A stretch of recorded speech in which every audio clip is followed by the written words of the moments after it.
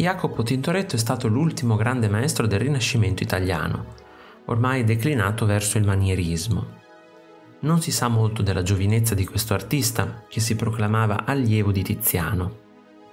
Massimo esponente della scuola manierista, si distingue per la straordinaria forza drammatica della sua opera, raggiunta attraverso le novità dei punti di vista, l'uso stupefacente della prospettiva e i sapienti effetti di chiaroscuro.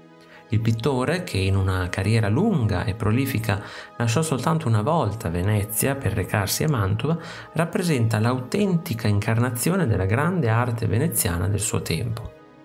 La maggior parte delle sue opere si trovano ancora a Venezia, nelle cosiddette scuole, ovvero edifici appartenenti a confraternite religiose, per le quali l'artista le produsse, lavorando spesso solo in cambio di un minimo compenso. Quest'opera è l'unica dell'artista conservata all'Ermitage di San Pietroburgo.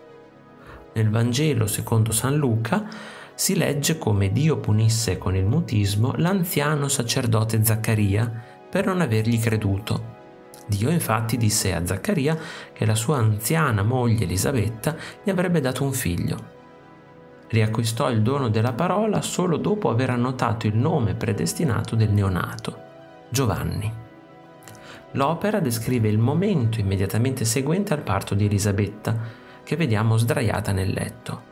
L'anziano Zaccaria è in piedi sul lato destro dell'opera, mentre vari personaggi femminili si affaccendano attorno al neonato Giovanni, nutrito da una baglia che gli offre il seno.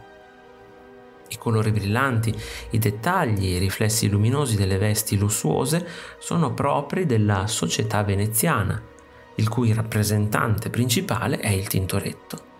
Nel quadro di Tintoretto vediamo una combinazione di elementi di genere e uno stato d'animo quasi misticamente teso. Se ti è piaciuto il video iscriviti al canale, lascia like e condividilo con i tuoi amici. Ti invito anche a visitare il mio negozio. Un saluto e al prossimo video di Arte Esplorando.